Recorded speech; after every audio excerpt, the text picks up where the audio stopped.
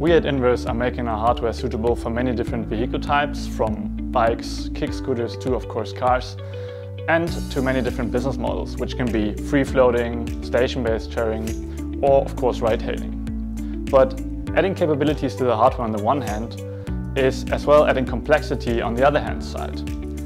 So that complexity is of course something you don't want in your operational processes because you want to get your vehicles on the street in a very efficient way. Efficient means a short amount of time but at very high quality.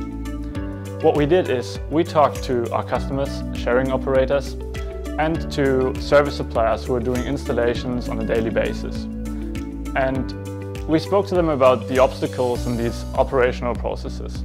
And everything we've learned in these conversations and the experience we were able to gather are the groundwork of the new SmartControl app.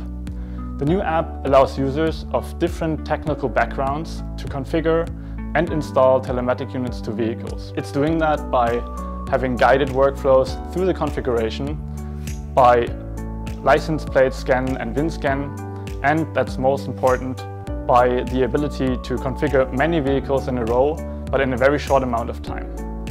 The new app is now available in Google Play stores and will soon be followed by an iOS version.